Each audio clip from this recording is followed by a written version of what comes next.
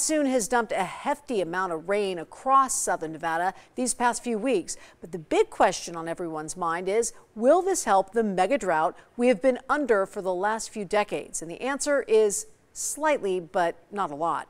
Meteorologist Bree Guy explains. I'm here at the Pittman Wash where viewers sent in video of water rushing down the wash. For July, Las Vegas is already above average in total precipitation. In a drought, this sounds great, but it's not quite so simple when talking about replenishing our diminishing water supply. One after another, storms dropped flood-causing water across the desert southwest.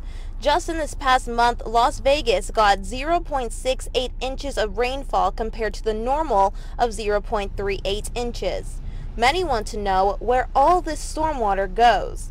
The answer is what's not absorbed by the soil or lost on roadways is flowing through the valley's washes into the Las Vegas wash that eventually makes its way to Lake Mead.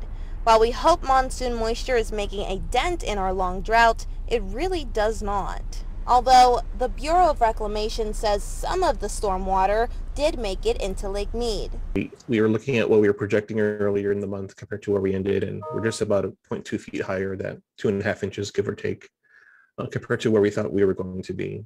Still, the water basin is only 27% full. A recent study done by the Geophysical Research Letters Journal shows that while monsoon contributes about one-fifth of water to the Colorado River, most of the river's water comes from mountain snowpack. We need some snow and we need some some summer precip, and those two things together can really help help put a dent in the, the drought. However, monsoon cannot on its own fully replenish water missing from snowpack. So the big picture for our water supply is still low.